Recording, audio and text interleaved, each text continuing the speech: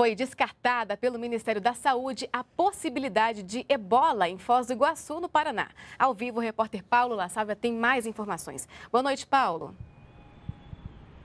Boa noite, Aline. Esse paciente procurou a unidade de pronto atendimento em Foz do Iguaçu nesta madrugada, na madrugada desta quinta-feira, dizendo que estava com febre, náuseas, pele e olhos amarelados, que são sintomas do ebola. E a doença só foi descartada depois dos procedimentos das autoridades sanitárias do Paraná, que foram acompanhados pelo Ministério da Saúde. Este homem é brasileiro de origem libanesa, tem 22 anos e recentemente fez uma viagem para o exterior, mas não passou pelos países mais infectados pela doença na África Ocidental, que são Serra Leoa, Guiné e Libéria. A Organização Mundial da Saúde estima que nestes países, nesta região da África, o vírus ebola já matou mais de 4 mil pessoas neste ano.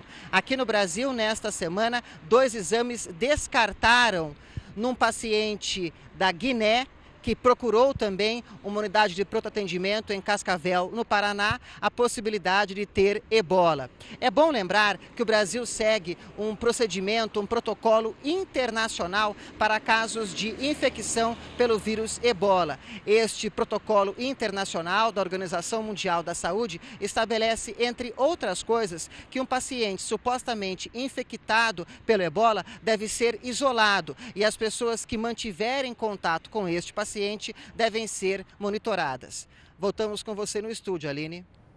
Tá ok, Paulo La Sávia. Muito obrigada pelas suas informações ao vivo.